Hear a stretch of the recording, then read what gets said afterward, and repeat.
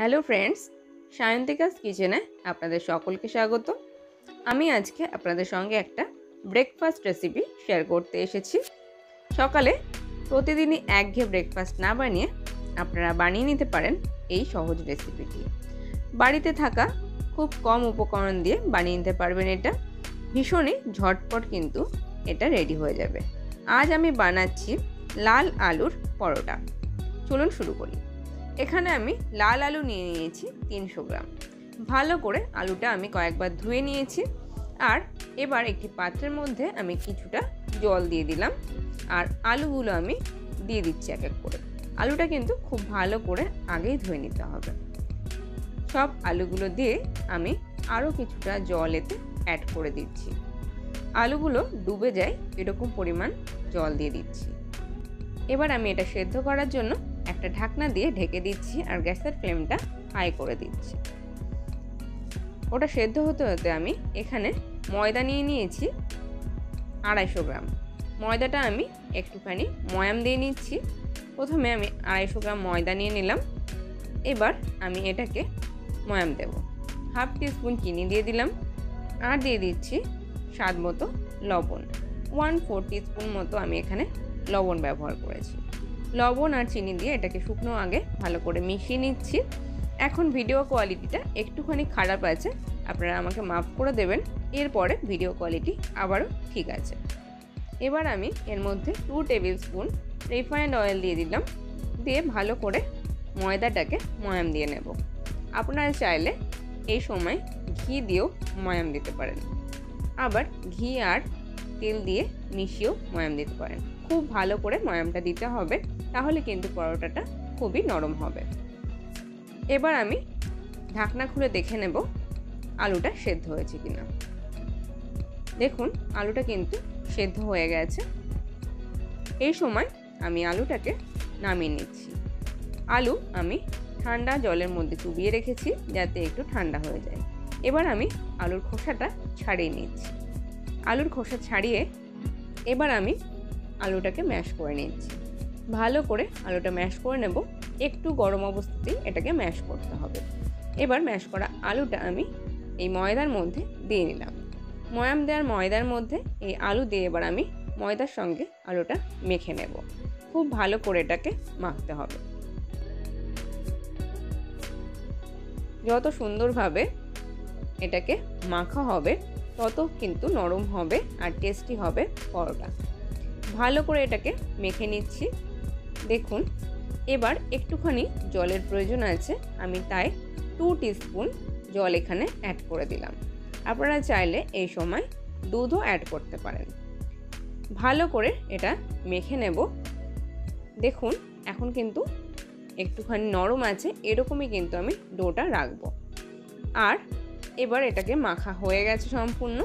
আর এর উপর two teaspoon refined oil আমি লাগিয়ে দিচ্ছি, যাতে ময়দার উপরটা শুকিয়ে না যায়। এবার আমি এটা ঢাকা দিয়ে রেখে দেব আধ ঘণ্টার জন্য। আধ ঘণ্টা পর ফিরে এলাম। এবার আবারও ময়দাটাকে আমি একটু মেখে নিচ্ছি। এখন কিন্তু ময়দাটা আরও একটু নরম হয়ে গেছে। ভালো করে এবার একটু মেখে নিয়ে আমি এর থেকে লেচি কাটবো। দুভাগে ভাগ করে নিলাম। এবার আমি এটা একটু লম্বা করে নিয়ে এর থেকে বড় বড় করে লেচি কেটে নিচ্ছি। খুব বড় লেচি কাটছি না, আবার খুব ছোটও না। মানে লুচির থেকে বড় আর রুটির থেকে ছোট। এরকমভাবে আমি লেচিগুলো কেটে নিচ্ছি। এই লাল আলুর পরোটা কিন্তু কোনো তরকারি ছাড়াই খাওয়া যায়। মানে এটা সার্ভ করার জন্য কোনো তরকারির প্রয়োজন পড়ে না। কিন্তু আপনারা চাইলে এটা জিরা আলু দিয়ে পরিবেশন করতে পারেন। ভীষণই ভালো লাগে খেতে। আমি জিরা আলুর রেসিপি আপনাদের সঙ্গে অলরেডি শেয়ার করেছি। যদি না দেখে থাকেন, তাহলে আমি ডেসক্রিপশন বক্সে লিঙ্ক দিয়ে দেবো। আপনারা চাইলে সেখান থেকে দেখে নিতে পারেন। আমি লেচিগুলোকে গোল করে নিচ্ছি। দেখুন এইভাবেই আমি সব লেচিগুলোকে তৈরি করে নিচ্ছি। এবার এগুলোকে আমি বেলে নেব। এবার আমি একটা চাকি বেলনা নিয়ে নিলাম। আর এর মধ্যে ময়দা ছড়িয়ে দিচ্ছি ভালো করে, যাতে এটা লেগে না যায়।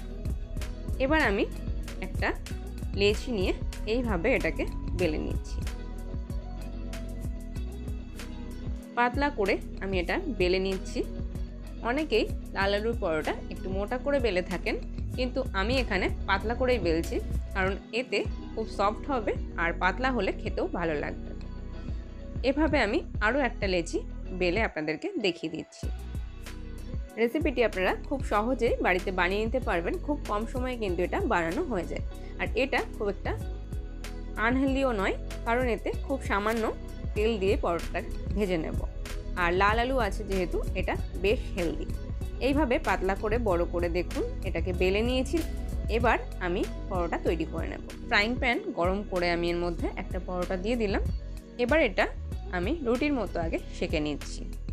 ভালো করে আগে সেকে নিতে হবে, না হলে কিন্তু পরোটা খেতে ভালো লাগবে না। এইভাবে একটু ভালো করে এটা সেঁকে নিচ্ছি।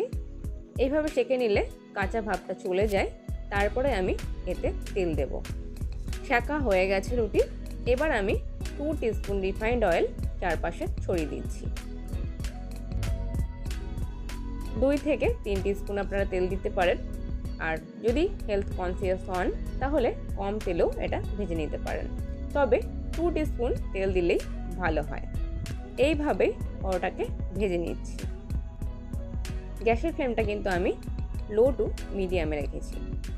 ঠিক এইভাবে পরোটা ভাজলে দেখবেন পরোটা খুবই নরম হবে আর খেতে ভীষণই ভালো লাগবে।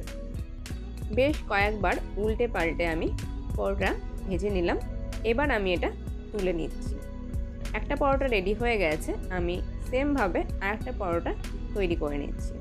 রুটির মতো আবারও এটাকে সেঁকে নিচ্ছি প্রথমে। ভালো করে সেঁকা হয়ে গেলে এর পাশ দিয়ে তেল ছড়িয়ে দিচ্ছি। টু টিস্পুন রিফাইন্ড অয়েল আবারও ছড়িয়ে দিলাম আর এটাকে আবার উল্টে দিলাম। বারবার উল্টাতে হবে, কারণ না হলে একদিকে কালো হয়ে যাবে বেশি। দেখতে সেক্ষেত্রে ভালো লাগবে না একদম। এইভাবে আমি সব পরোটাগুলো তৈরি করে নিচ্ছি।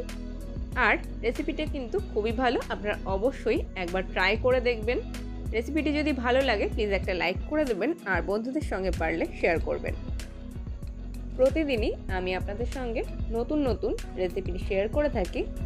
আমার চ্যানেলে নতুন বন্ধু হয়ে থাকলে প্লিজ আমার চ্যানেলটি সাবস্ক্রাইব করে নেবেন আর আর পাশে দেওয়া বেল নোটিফিকেশান অন করে দিলে আমি যখনই নতুন রেসিপি নিয়ে আসব, সেটা আপনার কাছে সবার আগে পৌঁছে যাবে। এখানে দেখুন, আমি একটা পরোটা আপনাদেরকে দেখিয়ে দিচ্ছি ছিঁড়ে আর এটা কতটা নরম হচ্ছে সেটাও দেখিয়ে দিচ্ছি। দেখুন, পরোটা কতটা নরম হয়েছে। একদম হাতের মুঠোয় কিন্তু পরোটা চলে আসছে।